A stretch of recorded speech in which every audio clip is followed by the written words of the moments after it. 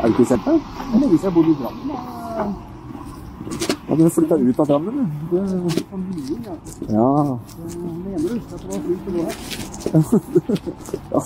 Du minnes at det var eh, veldig fint her en gang i tiden. Da jeg var ung. Da var jo ikke dette Drammen. Da var elva på denne sida. Da lå elva Men elva gikk på tvers. Ja. Nå har den blitt litt lenger. Ja. Ja, du ser, ser de driver og graver uti der. På Holmenakken. Ja, hva gjør du på der, da? Hva gjør du mye her? Eh, Er, det- er det ikke denne brua er det noe- med det med det? Nei, jeg skulle bruke det som depot eller lagringsplass til et eller annet. Ja, men er ikke det i forbindelse med den nye bybruen som de holder på med? Det er sikkert. Sikkert sånn. Ja. Mudring av Ja. Mudring? ja, er det ellers noe nytt, da? Som, Jeg vet ikke, om det er noe nytt, da. Ja, ja, hvis det ikke er nytt, så går vi bare tilbake igjen. Det var kort tur. Ja. Det er masse. Jeg skal flytte igjen. Eh, Jeg skal flytte igjen. Dama er høygravid. Oi. Oi, du verden. Flytte igjen. Er ikke det greit der der hvor dere var? Nei, vi kom aldri i gang med det vi skulle pusse opp med, blant annet. Så da er det litt sånn. Ja. Nå er det øverst i Du har flytta, eller? Jeg skal flytte i morgen. Oi. Så det har tid til dette her, altså. Ja, eh, ja, jeg må koble litt av. Ja. Jeg har faen ikke sett folk på månedsvis. du. Nei, nei, det har jeg for så vidt heller ikke. Helvete, jeg må plukke opp det dritet her. Ah, det er en det står å se på. Men uh, i morgen flytter jeg. Ja, jeg jeg kommer flyttebilen i hvert fall. Ja, kult. Men uh, de andre kommer jo ikke før 15. Så vi har litt tid å ja, få alt ut. Ja, ja. Blir å se The Place. ja, jeg har ikke vært på det forrige stedet engang. Så det, det går jo kjapt i svingene her, jeg Ja, det gjør det. Vi leier det ut, da. Ja, det som dere har? Ja. Å ja. ja. Huset. Ja. Så ser vi om uh, hva vi gjør når vi må ha litt ro og mat når vi får babyen. og. Ja, jeg skjønner. Er det gutt eller jente, eller er det noe annet? Tredje. Third one. Third alternative. Ja. Du er ikke sikker, eller? Av kjønnet? Altså, er det gutt eller jente? det blir gutt. Gutt? Ja. Osvald. Osvald? Jeg har fått funnet navn allerede? Ja. Ja. Ikke Lars, altså. Jeg ville at den Jeg er skuffende, altså. eh, noen ordentlige saker. da, Du kan kalle den for uh, Lars Svein, kunne du kalt den. Nei da. Svein Olav. Ja. Det er med sånn E-dobbel, det. Nei. Med, Er ikke det? Nei. med han derre som skøyt Ja, eh, vi har det. Det jo de også. eh, enten eh, han eller så kaller man Ozzy. Ja. Osbourne. Men hva sa du bytte? Du har ikke stappa det ikke? Eller bare lånt? Ja, ja. Er ikke det gyldig nyhet? Nei, det er gammelt nytt. Fake, fake news. Nei, Å ja. Så vi dro dit, og slippa jobbe og så tenkte jeg det er digg å komme seg vekk i det. Så valgte jeg da et sted hvor det er lite covid, da. ja. Det er ikke mer. Det er ikke Sorry. mer enn 900 registrerte tilfeller på hele. Vi dreier oss litt her. Ja, så. det. Og så klarte jeg å handle middag med noen som hadde covid. Nei, Ja, ja. det selv, eller? Nei, ikke. Nei, det er ufælt. Ja. Så er det når vi skal tredjevaksinere oss før tredje verden Tredje verden. Er dette sånn hund som kan lukte eh, covid og sånn? Omik omikron og sånn? Så når det kommer noen folk sånn der, woff, woff, og så Smart. Ja, det det er Omikron, eh, han. Omikron, ja. Honeycomb.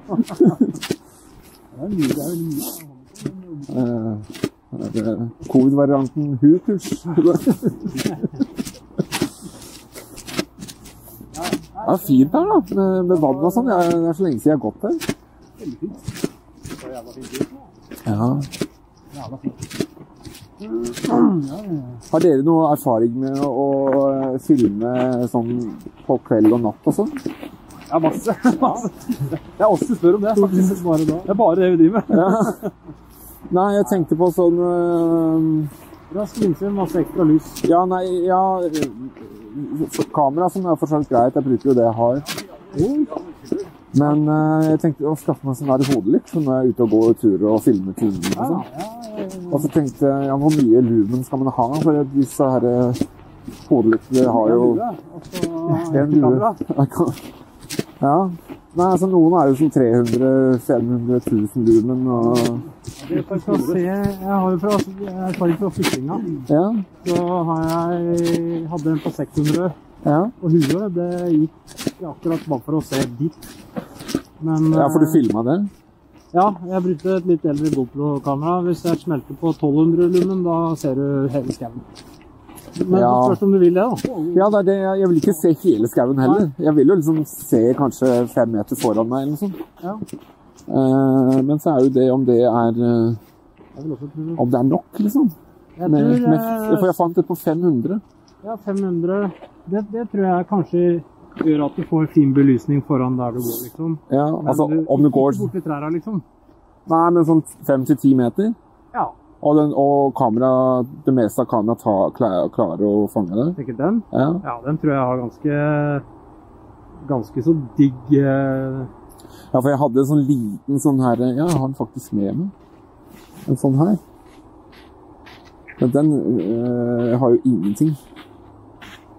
Hva er det Nei, det er noe annet, det. Uh, nei. Det var eh, Se her, da. Fjernkontrollen til eh, til garasjeporten og eh, lyset. Men det ser jo søren meg likt.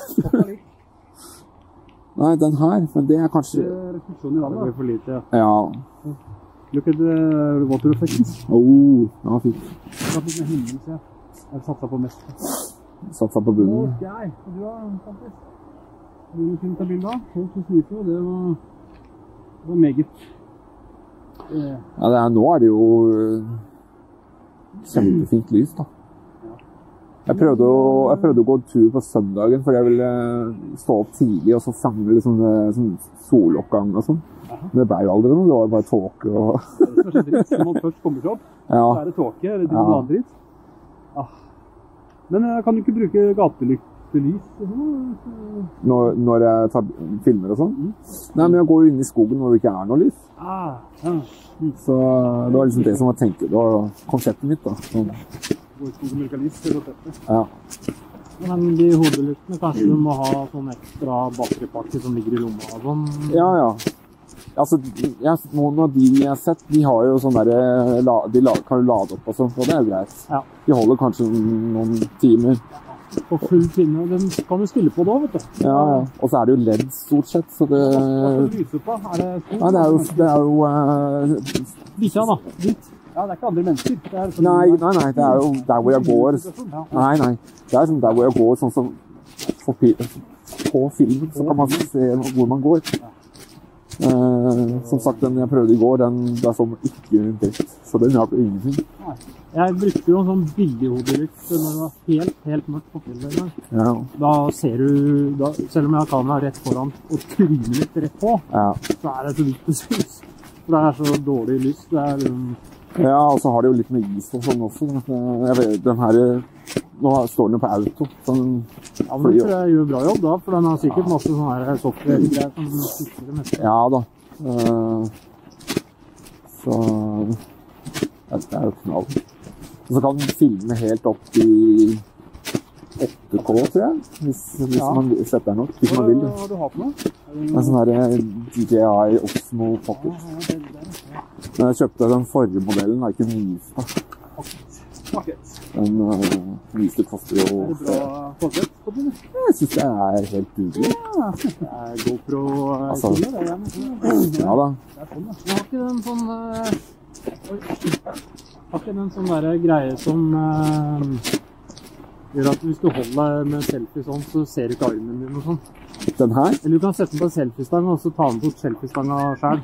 Den her, mener du? Ja. Ja, det har jeg ikke testa. Eller er det noe annet? Jeg tror Altså, for den her er ikke så lett å feste på noe Jo, du kan jo kjøpe en mount, Jeg kan ikke. sikkert. Så Ja. Jeg får tenke litt på det. Eh, Jeg er bare liksom redd for- at 500 lumen kanskje er for lite. Ja, og de som er med, de kan jo stilles ned. Ja, noen-. Ja, noen eh, Ja, ikke sant? Men bare den på 500 koster jo sånn 400 spenn, liksom. Så, Mye? Nei. det er liksom nok, syns jeg. Føler jeg. Er det i forbindelse med dette Slow TV? eh, ja. Det skal jo bli superstjerne, vet du, så Hva er det det egentlig er, da? Du bare filmer ting sånn som det egentlig foregår, eller enda saktere? Nei, nei da, det er enda saktere. Fem timer lang. Filmer du nå? Ja, jeg filmer. Men det er ikke lyd. Jo, Å, det er lyd, da. ja, ja.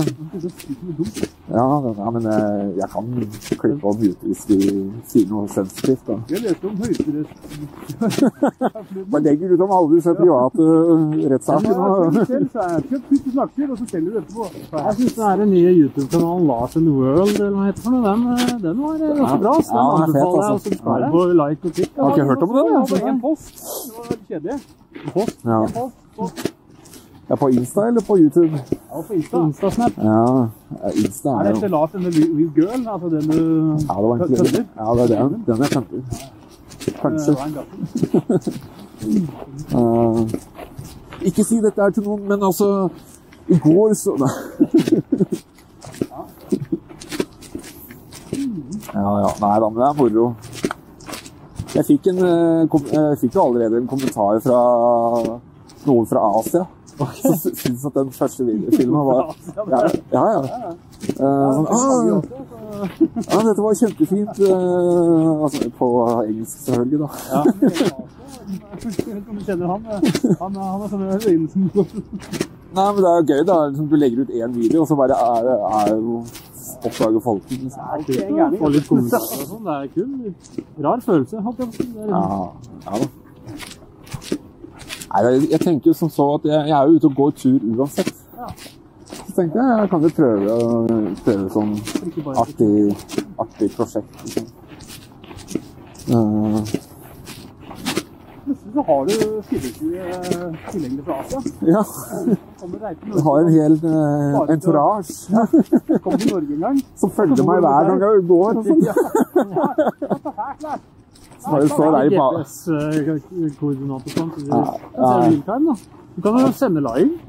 Kunne jo Det er sikkert noe utstyr til det hvis man vil. Koble til eh, Koble til telefonen, så live Ja, ja. Står liksom og eh, i bakgrunnen og.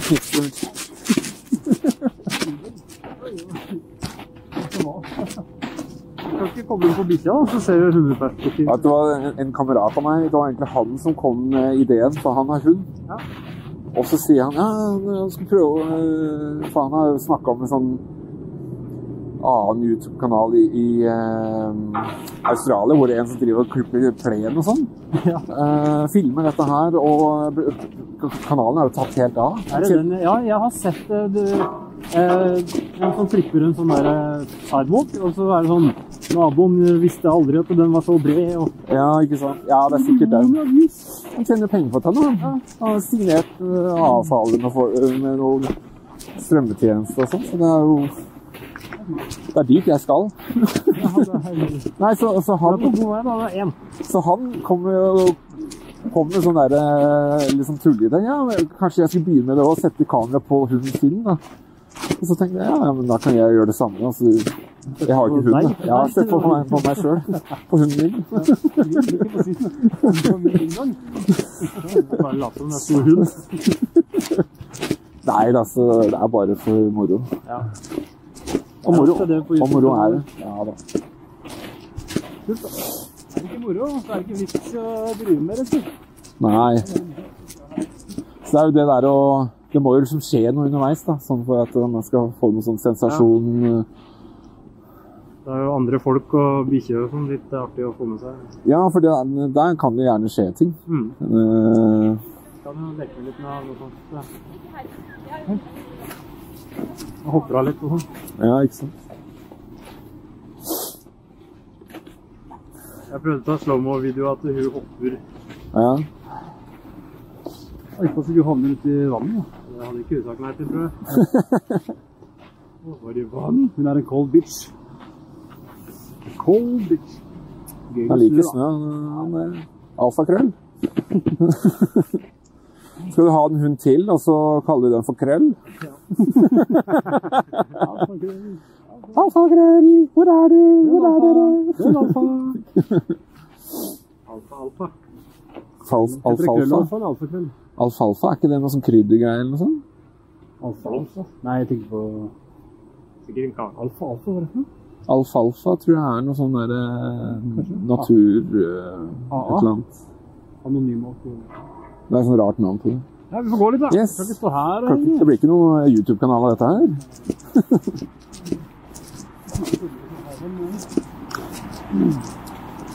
Det som er I etterkant så må jeg jo gå inn og sladde alle og sånn som jeg Det er verdt det, for du får en følger til vet fra Ja. Bangkok senere i dag. Må man det. Ja, jeg, har- jeg, pleier- jeg har gjort det, da. Ja. Spørs hvor nære de er, da. Om om du ser hvem de er sånn. Hvis du ser hvem de er, så er det greit. Nei, nei, nei. nei. Altså, tydelig. det er klart, men hvis du passerer, hvis du passerer noen, så ser du jo stort sett hvem det er. da. Eller noen kan jo kjenne igjen det. Men kanskje bra kamera andre veien, da. Ja, på meg, mener du? Ja. Ja. Oi. Er det, er det her all den der dritten fra restauranten kommer ut? Det er noen som har prompa.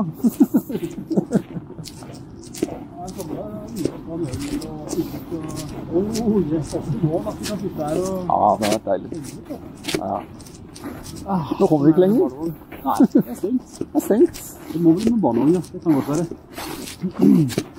Men eh, jo, er ikke pappapoliti. Har jeg har ikke hørt om. Folk bare er kule. Jo. Skal vi gå enda lenger, eller hva, hva tenker dere?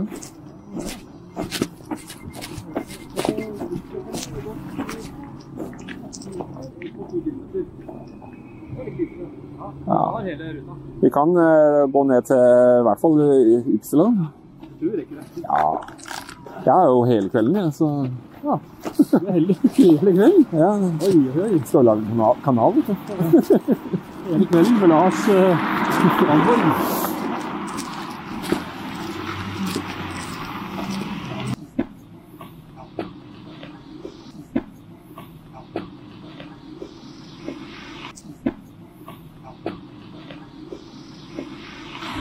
jo gjeng, da. Ja. Nei. Det er så lenge siden jeg har vært i sentrum. Jeg er jo, jeg er jo omtrent ikke her. Nei, ikke jeg heller. Jeg var her og spiste for et halvt år siden. Ja. Ja, det er eh, Og bygging.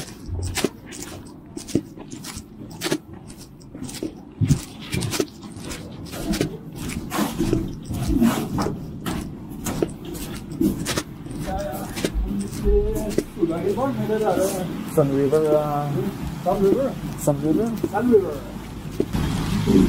Uh, Sun Mountain River. Uh, Mountain River. ja. Um, nei, det er Det skjer jo fryktelig lite, da. Du blir jo sett på film og TV-serier. Ja. Så følg med, følg med litt på det. sånn. Følg med hva som skjer.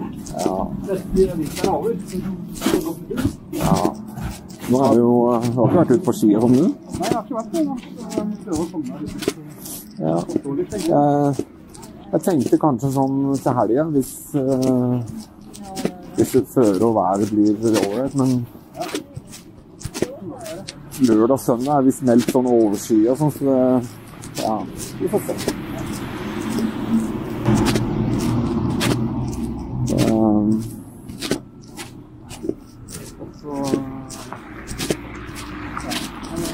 Så, lurer du på noen serier om dagen? eller?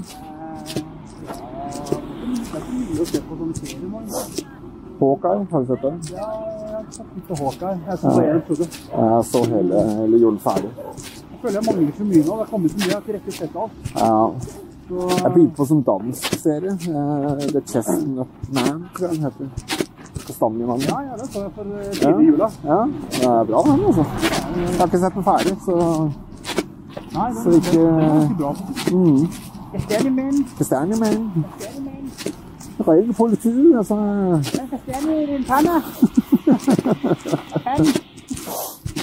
Ja, den Boba Fett har jeg sett. Ja, har to av Boba Fett. Å ja, er den nye kom, Når er de kommet ut? da? Mandager? Ja, nei, sorry, jeg så bare en, men da, er andre har kommet. Ah, ja, ok.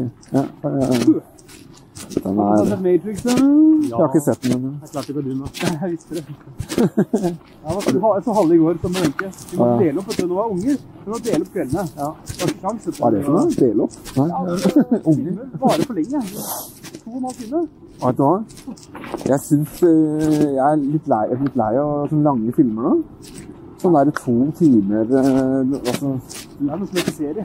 Ja, men, De varer jo en time, den nå. Så halvannen time. jo, men en time er sånn greit, for det klarer du akkurat å Ja. Men hvis en film er sånn der 1 time og 20 minutter, så er det helt perfekt. Ja, jeg har ikke Netflix en sånn der egenkatt, du blir filmer på en og en halv time? Er det det? Jeg tror de har det.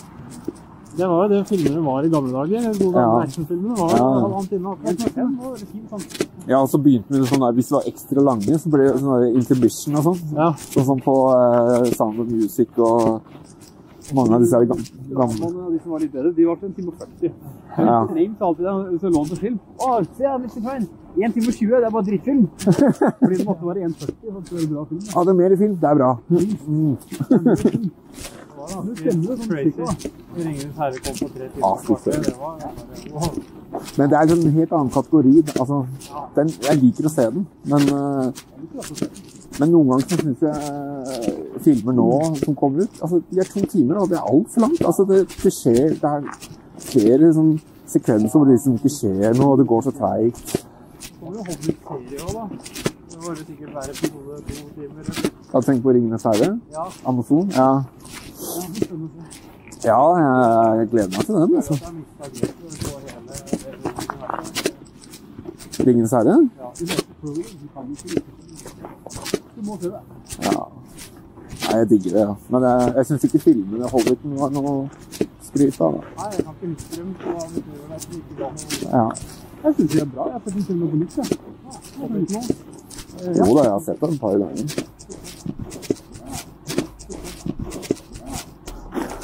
er sånn frossen. opp, også.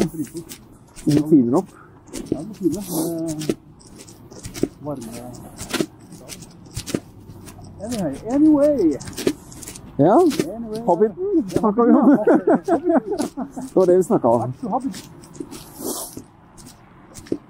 Ah, Han driver og lukter på noe.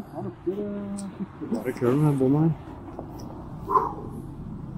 Men, eh, men ja, det er mye filmer nå på, som varer litt lenge. Ja, jeg syns de Og den er andre så flere som varte lenge, og faen var det er sånn kul en, som jeg bare plutselig så på Netflix, som jeg har sett på var veldig stor.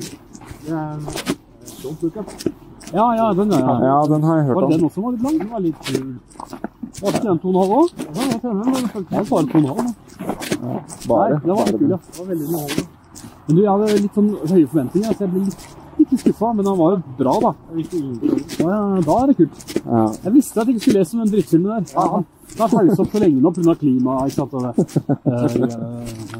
Eh, ja, den ligger på lista. så bra. Jeg så en annen uh, Jeg har ost i kjøleskapet som- er en sånn manchego.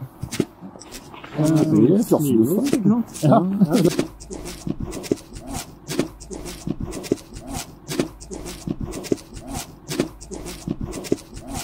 Men jeg så kom over en sånn film som heter 'Nightmare Alley'.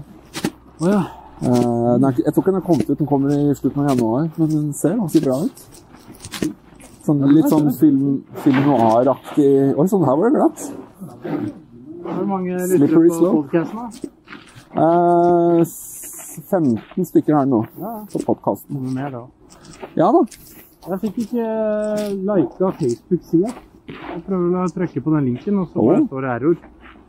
Oh. Det tror jeg er bare min mobil eller data eller min Facebook som ja. ja, det er jo litt synd, da, for jeg trenger masse likes. lett å bygge opp merkenavn. Det er så vanskelig å, å promotere det, fordi alle disse her gruppene om film og sånn, de vil jo ikke ha reklame og promotering. Nei, Det er sant. Så det er sånn der, nei, det blir stoppa med en gang. Du må sikkert betale noen greier for å få masse greier som legger ut her og der. og like. Altså, du kan gjøre det, men de blir bare sletta. Ja. Fordi det, gruppa vil ikke ha reklame. Så ja. Nei da, men eh, det kommer seg. Nå skal jeg Nå skal jeg intervjue Dette er, jeg må ikke si det til noen, altså. Nei, Dette er hemmelig. Ja, Si til Frode etterpå. Ja. Nei, jeg skal ha intervju med Ravn Studio. Ja. De som lager eh, Flåklypa og spillet, altså. Ja, ja, ja. Hva skal du intervjues til? Nei, det er jo til podkasten, filmrelatert. Å, ja, sånn. Så, så jeg prøver liksom å få noen gjester og kontakt med folk. Altså, det er jo veldig gøy, da. Det er sikkert bare når du allerede har fått en såpass stort studio, så går det jo fort til å Eller da veit du metoden å få neste, liksom. Ja, ja. Bare ta kontakt med dem. Det er jo bare å spørre. Ja, ja, det altså Nå eh, Så jeg har, jeg har liksom no, flere ting på blokka liksom som jeg skal Ja da. Så sånn gatelyktbilde. ja, man trenger gjerne gatelykter til gatelyktbilde. Du, du må ta noen bilder av Lars òg, da, sånn hardt til thumbnail og sånn.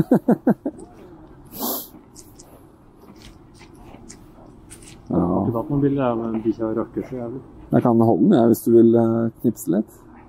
Får det ikke til allikevel. Jeg er så dårlig.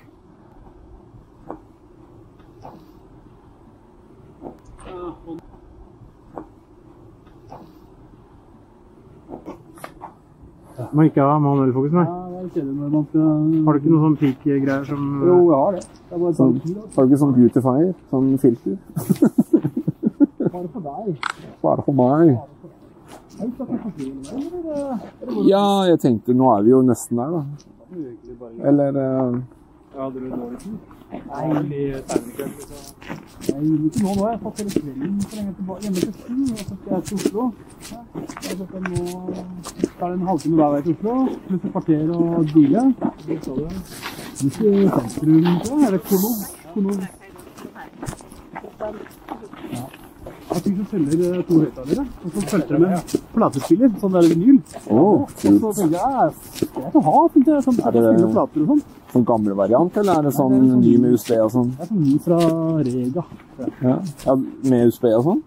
Eh, det kan vet jeg ikke, jeg sjekka ikke, for jeg er ikke så god på sånne vinylting. Fordi eh, hvis du Hvis det er sånn gammelt system, så må du jo ha anlegg. Eh, ja, altså, du må jo ha koble til anlegg, da. Ja, altså Du må ha en forsterker og noe jeg, Ja, Hvis høyttaleren er aktiv, da. Så det er forsterker i høyttaleren. Ja, Så er det egen uh, utgang Ja. til uh, platespilleren, som heter Fono. Ja. jeg, er laga for å spille vinyl, da.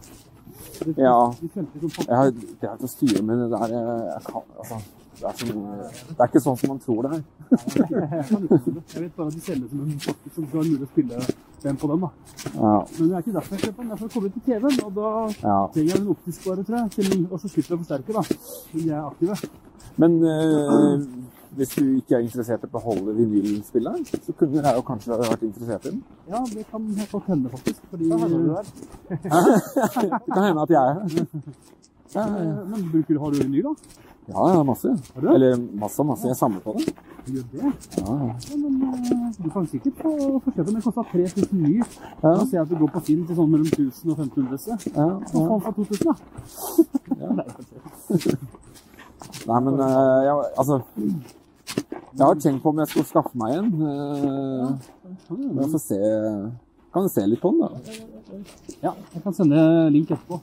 Ja, men Jeg kan hende at jeg vil ha den selv òg, men jeg har jo ikke noe lyd. Nei? Men pappa har så mye, vet du. Ja, Og han har masse kule plater som er litt morsomt å prøve. da, For hørt lyden. Å, ja. Men jeg tror jeg må ha en sub også, fordi det er ikke så bra bass på disse. Det er et kompakthøyttaler. Ja, Yamaha. ja. Ja, men du bruker den? Nei. Gjør ikke? Ja. Jeg kan ikke teste den. jeg må se hva jeg må ha. Det er sånn 5,25 batterimeter på de høyttalerne. Fordi de er Den er til film og sånn, er det ikke stort sett? Ja, det er deilig. Har aldri hatt. Det prøve. Ja. Ja, ja, det er fint. Det er eh, rått, det. altså. Men så har jeg naboen rett ved siden av soverommet. så det si, når du har kjøpt dette her, så må dere egentlig flytte. Men eh, på dagen, kanskje. Ja. Ja, altså det Stort sett så går det greit, tror jeg. Jeg, jeg, altså, jeg har ikke hørt noe fra mine naboer eller Jeg prøver liksom ikke å se film og sånn eh, Hvis jeg må se noe etter eh, 10 eller 11 eller 12 eller noe sånt, så, så kjører jeg på eh, sånn Ørepropper ørepropper. Så vi ikke rister alle naboene. Ja. formando. Ja.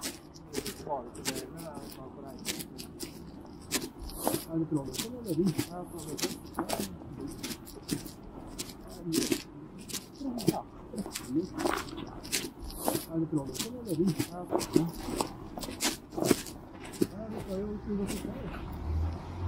Ja, det? Ja, det Ja. ja, jeg trodde det var en på andre siden, eh, så ja ja, da får vi gå tilbake. Yes. Jeg syns det er en god idé. Det er en veldig god idé. Det er en veldig god idé. Her er det snakk om det skal bli utservering her, da. Så ja, fint det.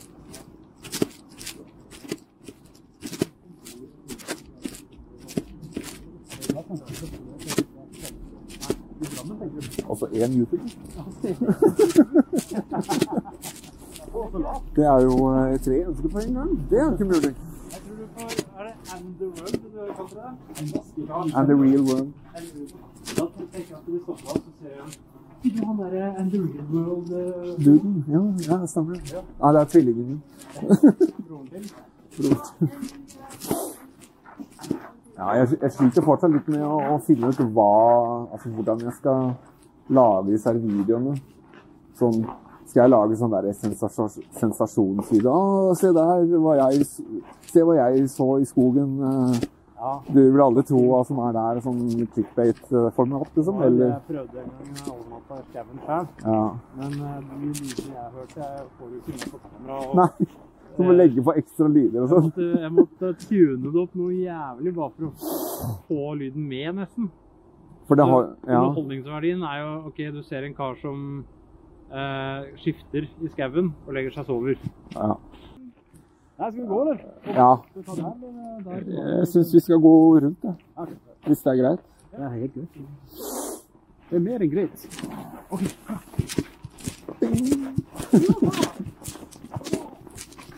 Nei da, men det er veldig kult man kan finne på.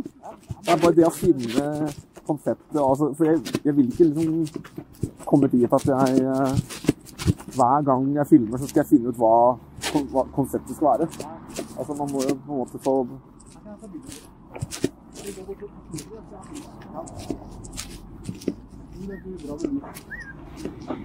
Altså rett ved siden av Her, liksom. Der er det fint.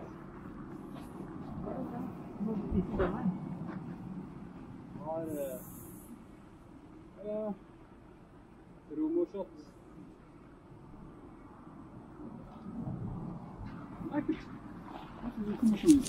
Den linsa her kostet 870 kroner. Det er sånn Seven Artisan. Jeg også kjøpt en sånn. Den er manuell, da, men eh, den er 1,8, så du får liksom på kvelden så får jeg jeg får tatt mye greie bilder.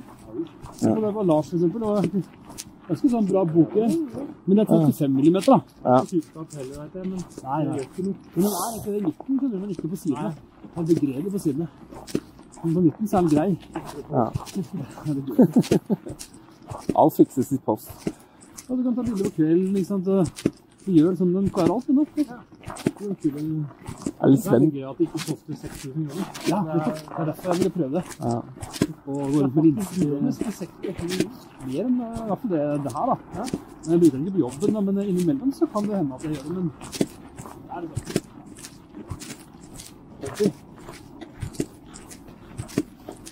Det er så fort det litt deilig. Innimellom gjør da. Jeg er litt spent på åssen den eh, materialet blir. For nå er det så mange lyskilder, og åssen den oppfører seg. Sier nok til ti ganger neste. Jeg tror han klarer seg jævla bra.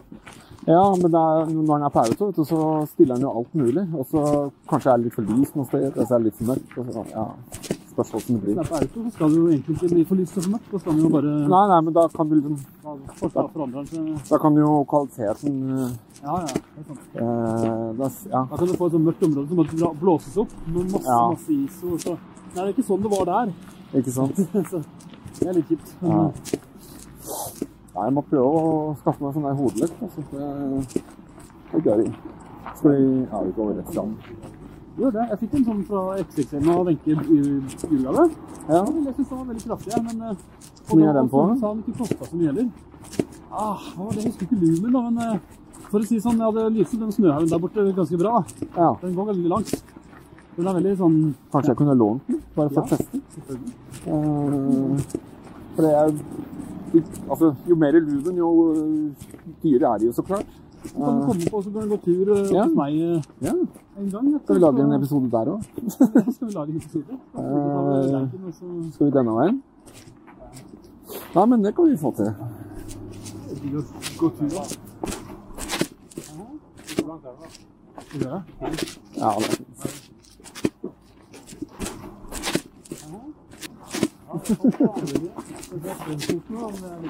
Ingen tør jo gå her, da. Vi må gå der, der.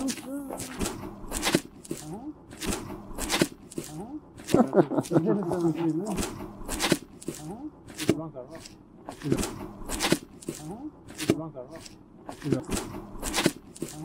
Hvor langt er det, da? Er? Er som har prøvd den her? Eh, hva for noe? Å ja, nei, jeg har ikke vært der.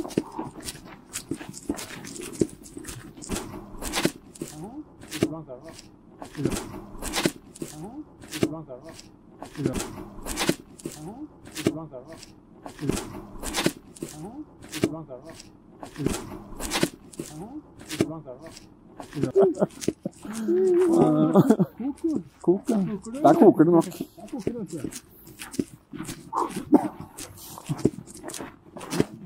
Det er B8-bord, eller B8-bord. Og inni her er det plass. Beate. B8. Beate. Tanta til Beate. Sølveste Beate. Jeg har ikke det beste her nå. Du har ikke det? Jeg kan holde kameraet, sånn i tilfelle du detter ut. Kommer putter deg med båten her, og så var det en ungdom som sto oppå taket her og hoppa ned. Ja. Og så det putter jeg en og så liksom bare «Vet du? Den trodde jeg skulle hjelpe på mye. Ja. Bare, kan jeg bli med? Da var det litt. Det det ut. Og de hoppa herfra og, og ned i vannet? Å, ja. Helt på toppen? Ja, ikke på den bjelkegreia, men på taket der. Så det, det er jo hele ja, ja.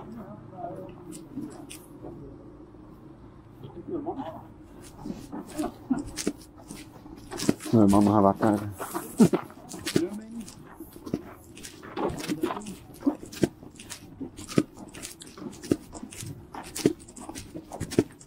Ja, men det er litt. Det? Nye leiligheten er det på en måte Hvordan plass og sånn. Som er?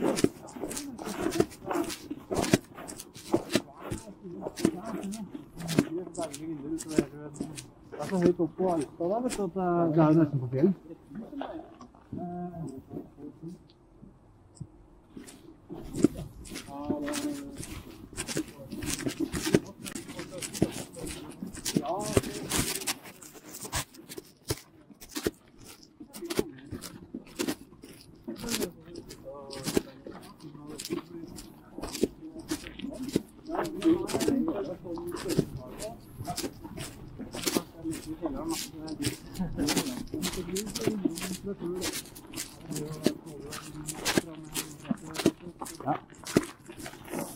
Designstudentene. Ja, jeg husker vi var satt her og kokte over en eksamen.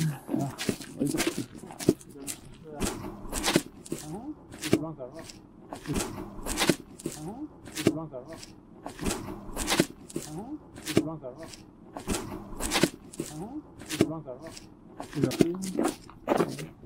Nei, det var ti, det. Det er jo ti, år siden. Ja, faen, det er sant, det. Søren, tida går, liksom. syv år siden vi gikk ut, da. Ja, ja, men eh, Ja da. eh, Men tida flyr. Det er ikke ti år flyr. byen. Vi tisper ikke. Jeg tror det er gutt, og hun er syv. Hvor skal vi eh, gå nå? Skal vi fortsette?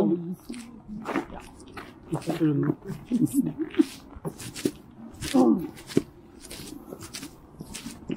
Så ikke som han skjønte så mye av det han studerte, han der. der. Han sitter der en hel dag og liksom um, Så gjør dette igjen.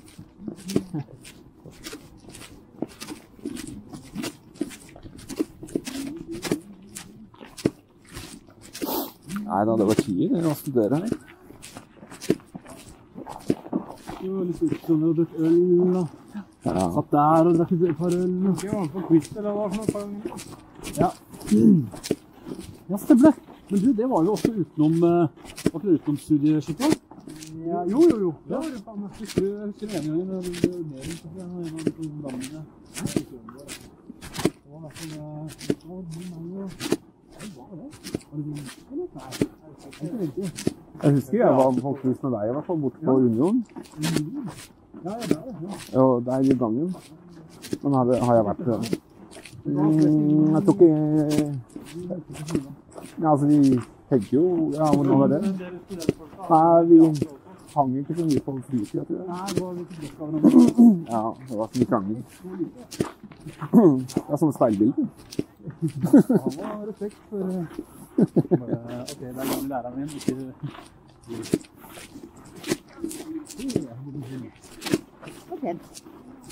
Han er, hun er snill, da. Det grep var det, på en måte. Og bare si de riktige kodeordene. Ja.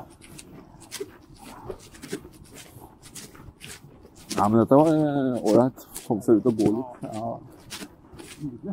Kom til å redde. Skal tatt en sånn eh, Vi har tatt en sånn hyttetur i bunn. Ja, vi må det. Sånn der kameratur snart. Ja. Eh, Kan ikke. Han er borte hele Jeg blir jo bli også. Ja, du Ja. Det er ikke så lett hvis det er nybakte Det er jo fem måneder snart, så ja, noen måneder da, så klarer en seg selv om Vi har igjen det er da. Ja, ja. Jeg er så heldig jeg kan gjøre hva jeg vil. Så. Enn så lenge. Ja.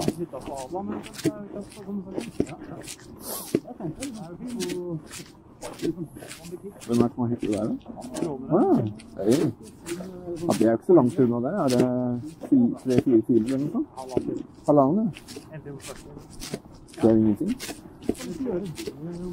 Det kan vi gjøre på en helg òg. Vi trenger ikke å ha en langhelg til det. liksom.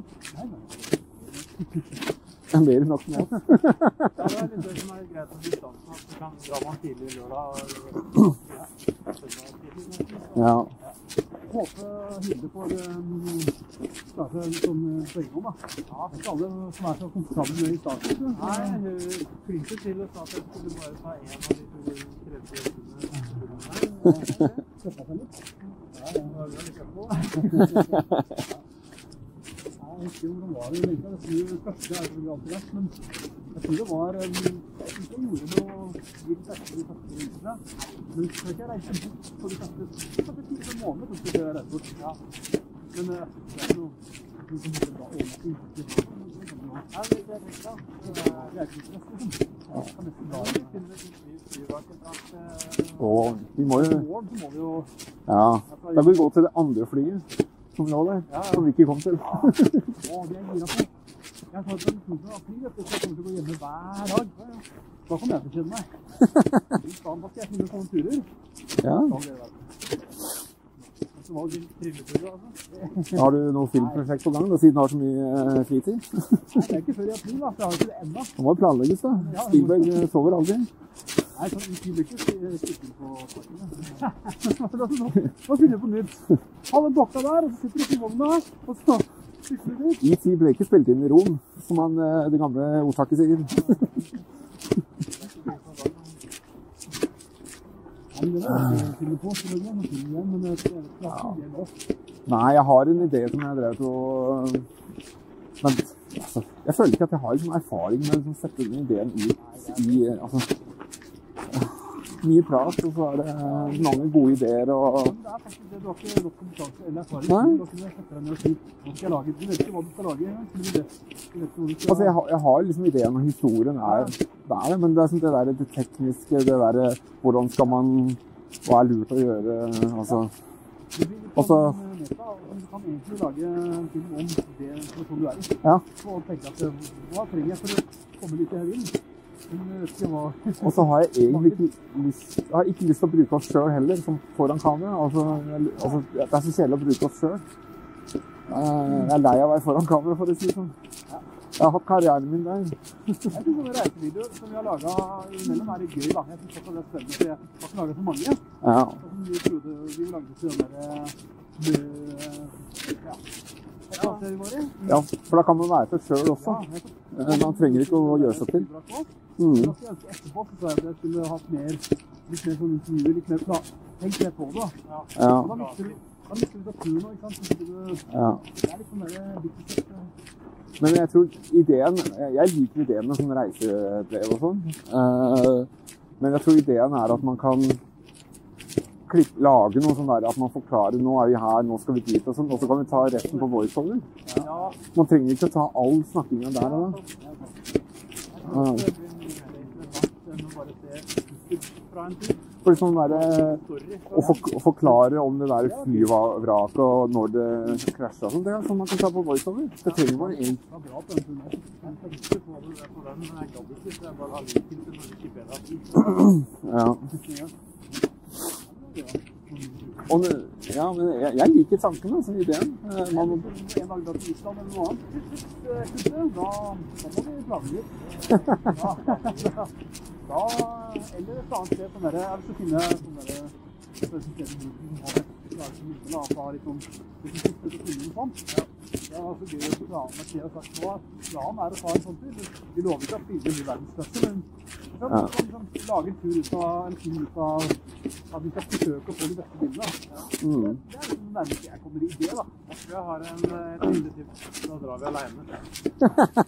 Det alt med skjermen. Ja, ja, Har du vært der? Ja. Du kan ikke dra til de stedene du vil. Og Og når du først kommer hit, så har du ikke sjekka at eh, her er det noen med, Så det var bare å gå ikke sant?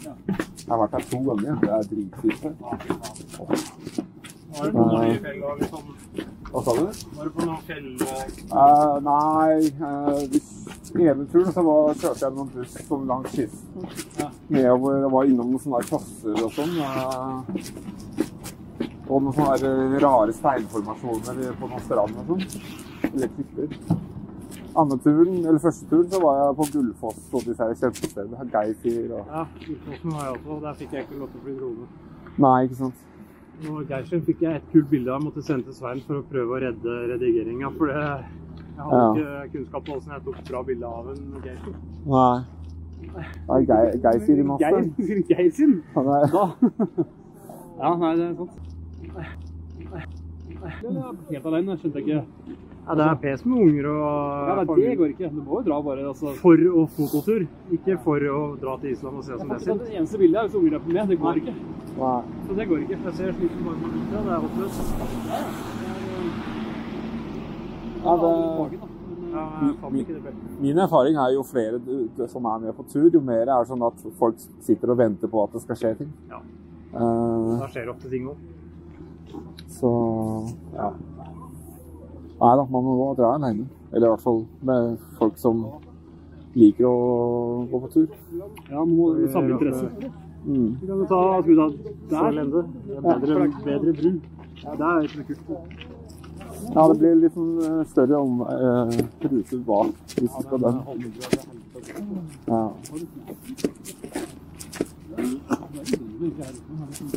Ja, de skal jo de skal bygge ny bibel. Så de forbereder til eh, Ny bibel? Ja. Det er sant. Så jeg tror det her er en midlertidig løsning, og så skal de rive den her, tror jeg, eller bygge ny. Og så leser du ikke avisen, gutt? Er det nei, men uh, gjør ikke det. altså, er jo ikke drammenser, vet så jeg Nei, du er Liung. Der skjer jo Er det noen bruer i Lier, da? Mange, mange. Mange, mange. Men det er ikke vanskelig å se dem. De er skjult. Ja. Skjulte bruer. Så plutselig har du gått på masse bruer uten å vite det. Ja, faktisk. Se her, ja.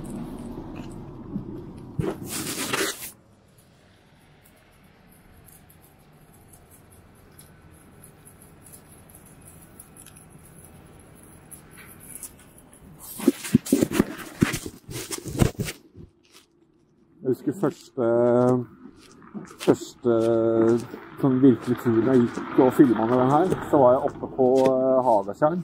Ja. Gikk rundt der og kjempefint og sol, og var, folk gikk ute og pilka på isen og lekte og spilte ishockey og alt mulig og sånn. Og så hadde jeg ikke på autofokus, så hele filmen er jo så å si litt sånn halvhuska. shit. Det skjer, det skjer den beste, ser jeg. Selv de topp-YouTube-folka. De gjør det det. Ja. Men det var, det var liksom bare den perfekte turen, for du gikk liksom langt, eller et lite stykke, og så åpna liksom alt seg, og det var så fint. fint. Det. Det er så mye henger fingre. Så det er fint. Så har du en husk. man har sånn huskelapper i lomma. Husk ja. autofokus. Husk Like lik liksom på alle. Husk. Ja, ja. Det har jeg i kamerabagen nå. så Hvis jeg skal ha flere kameraer, så bare Husk kamera. Husk liksom batteri. Det er litt vanskelig å ha lik ISO når det er auto-ISO, da. Ja. Da skal det være sånn der, at den synka som for alle kameraene. Det hadde vært fett, da. Nå snakker vi. Nå snakker vi teknologi her. Ikke si dette til noen. Dette her er. Hvis du har sånn multikam... Vi må jo ha det, sikkert.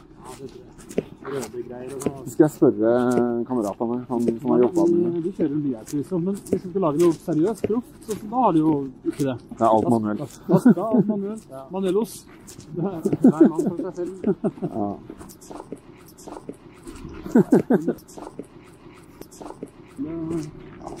Her er det Her skjer det skal episoden her. Det er. You never believe what happened uh... Ja.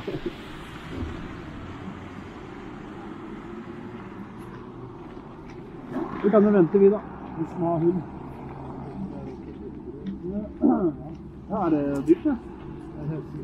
Ja, sånn. Ja, er det dyrt? Det er noen tusenlapper. men Nei, stopper den for oss, ja. er verdt det, ass. Vaske sjøl. Nå blir ble det grønt for den, ja. Ja. Jeg har sånn følelse av det der eh, den røde mannen ikke blir grønn for oss. Nå kommer det selvfølgelig masse busser. Nå er det rødt fordi, så er rødt fly. Men har du fått deg til leietager til huset, eller? Ja. Ja, det er digg, da.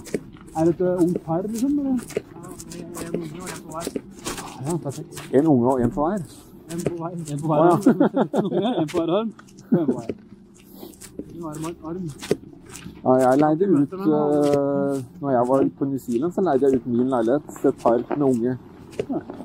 Og midt i den eieperioden så så eh, forsvinner hun, og han forsvinner, og leiligheten står bare tom. Uten å si ifra. Ja, altså de brøyte opp da, forholdet. Så det var jo kjempegøy, da. Eh, uten å si ifra og sleit med å få inn de pengene igjen. teite regler nedi der og Nedi der. Jo, men jeg leide ut her. Å, ja, ja. Ja, Så eh, Nei da, det var eh, Men Det eh, kan man, ja. Det er derfor vi valgte utleiemegleren. Jeg, Ja. jeg orker ikke ja, det snakker. Ja da, det Og forskuddsbetaling er kan du slutte. Det er kanskje ikke vanlig, men ja, det skal være måned. Jeg burde tatt mye høyere depositum også. Ja. Ja. Ja, det er viktig. Men jeg tenker liksom, ja, men hvis jeg har eh, depositum på 30 000, altså hvem er det som har råd til det? Eller Overraskende mange. Ja, kanskje det. Jeg må, jeg må tenke meg, jeg må, være litt mer grisk. jeg. Nei da, men Altså, eh, de, de som gjerne har vært på de er i leiemarkedet, de har jo betalt liksom Ja, ja. Ja da. Nei, jeg, det var liksom første gangen, så hadde liksom lite erfaring med. Men eh, hadde jeg visst at det var så mye styr, så ville jeg jo sannsynligvis ha gjort en sånn der eh, le- leiemegler eller et eller Det annet. var ikke så mye av det før. vet du. Nei. Nei, men det tok meg. Mm. Det da. Det det det Ja, jo da. Så vi brukte dem i 2012 borti Folketeatret. Ja. Og jeg og Wenche flytta sammen. Og da hadde jeg ikke hørt om dem noe særlig før. Nei, det var ganske nytt. Det var ganske nytt da. Da. Det var veldig greit. altså. Han tok av alt. Det Ja. ja. Ja. kosta vel en antagelig som tusenlapp mer å bo der i måneden. Jeg ikke. Jeg tror det er litt av 10 Det var vel- Ja. Ja. Men uh, ja, vi- la oss si de leietakerne ikke betaler for seg. Da er det da, er det da garant- sikra Da har vi eh, Ja, ikke sant? Da avgjør de det, og så tar vi det med husleie. Ikke sant? Ja. er Nei. alt mulig, og sånn skadegreier og Ja. Ja, da kommer det noen og det og sånn, eller? Hvis det er noe som i leiligheten som må fikses, det må du fikse selv, eller? Det er ikke noen meglerne driver og styrer med det. Jo, de skulle i hvert fall være involvert på alt sånt. Ja. Men eh, jeg har også hørt historier om utlendinger hvor folk hadde grisa til vegger og alt, og så Nei, det er normalt slitasje, det. Og så bare Hæ? Ja.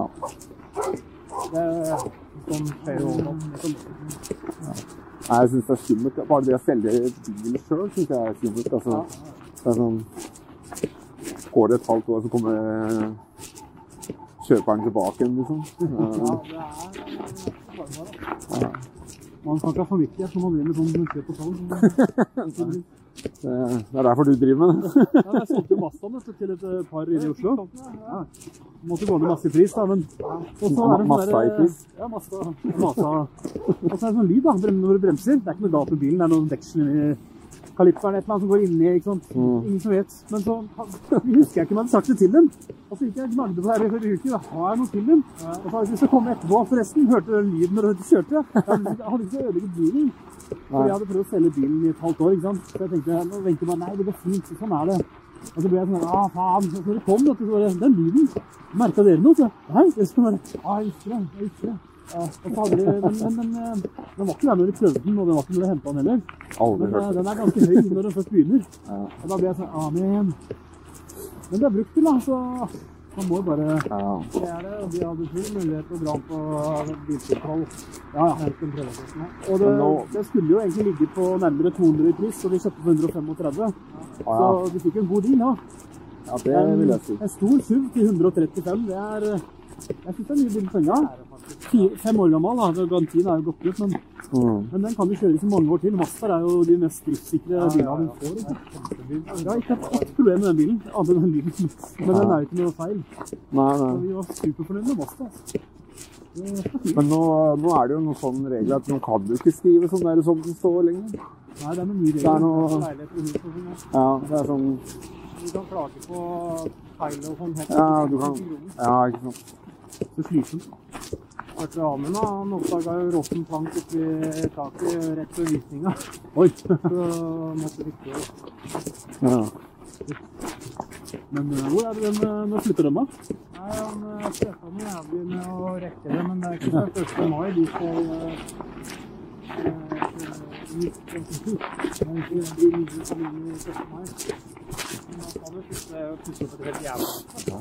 Ja, uti der, ikke sant? Hurum hei. Hurum hei. Satan, det er prosjekt, ass. Ja, men han, jeg snakket med ham, han har har gått mye bedre enn han første trodde. Han har litt stressa på huet. Ja, men Anna kjenner du noen familie som hjelper til hun, eller? Brødre og er eksmann og alt der, sikkert. Ja, ja. Jeg vet ikke om han involverer han der som du Det ble mer jobb med den der. Ja. Det er ikke kjenne noen. Ja. Her bygger det noe bygd av en på Ja, Lars, skal du komme deg til Drammen, da? Ja. Jeg hadde jo, Lenge nok ute i Krokstad Jeg hadde jo egentlig planer om å flytte til Oslo. Ja. Prøvde, ja, jeg prøvde Eller jeg var på sånne jobbgreier inni der Ok. i, ja, i desember. Ok. Men eh, så kom jo dette nye eh, omikron og alle restriksjoner, så det Var det en stilling du søkte på, da? Altså, Ja, ja en, det er en stilling jeg hadde søkt på, og så ringte de meg opp. Ja. Eh, etter lang, mange uker, liksom. Ja. og lurte på om jeg hadde lyst til å komme og prøve å jobbe der. Da. sånn en dag. Prøve å komme. Ja, prøve å komme. Ja, kult, da. Ja, men Er det det skrinlagt, eller er det bare midlertidig? Ja, midlertidig så ble det ikke noe av, fordi så plutselig så sluttet jo omsatt, Eller jobbene Altså, Ja. kom ikke så mange jobber inn som de hadde beregnet. Ja. Hvordan jobber det, da? Som eh, et firma? Ja, sånn- det var som trykkeri i Oslo. Ja, just ja. Så, eh, men eh, jeg skulle holde kontakten med dem sånn ut, ut året, og se om høre om det, det- om det var noen muligheter. Da. Så vi får se, vi får se. Her. Faen, den bygger mye her. Hva du sa om det grønne her? Altså, det er det gamle tomta til Bunnprisen? Er. Herregud, det har skjedd fort. Ja, det var Ja. ja. På tursida, da var det ingenting der. Hæ? Seriøst? Nei, altså Jeg Nei ikke da. det. Ikke noe. Stakkars Ova, de fikk ikke hus. Ja, jeg hørte det. Jeg hørte det. Og nå prøvde jeg desperat å finne noe i en sak. Så måtte jeg ringe og ringte litt. da. Frem og tilbake. Så jeg ikke begynn å noe sånn at du ender opp med sånn som du drømmer. Han har ingenting å stresse med. Nei, han har ikke det. Og han hadde tenkt å kjøpe på Tomrud bare for å ta noe. Og så, jeg sier greit, Tomrud er ikke så gærent det, men eh, han skal jo egentlig, han har tatt den jobben inn i Oslo nå. Ja. Så han skal drive og kjøre inn der, og så skal han gjennom Tomrud-trafikken. Det er ikke så veldig Nei, faktisk ikke så gærent. Nei, ikke sant. Men eh, jeg bare, han liker å kjøre bil òg, men eh, jeg bare syns at han burde ha litt is i magen. da. Ja. Kjøre sånn. Så skal han jobben da, det var kult. Mm. Her kommer døra.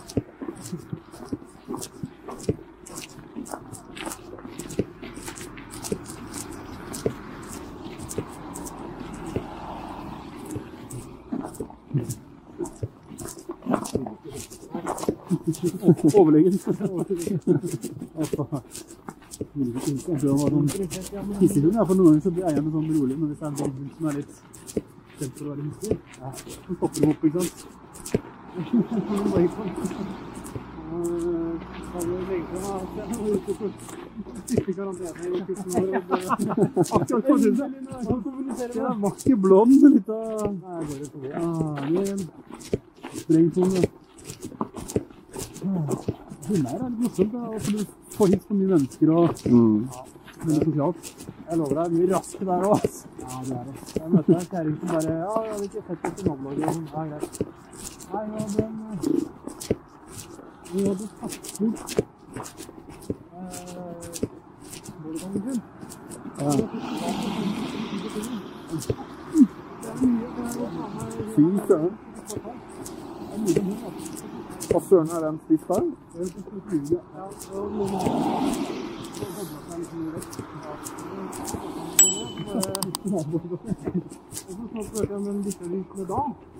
Den. Nei, den var ikke hennes da.